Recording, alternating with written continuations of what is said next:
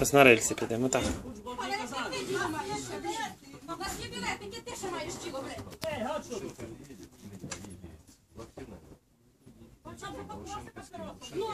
Давай посадим сюда меня.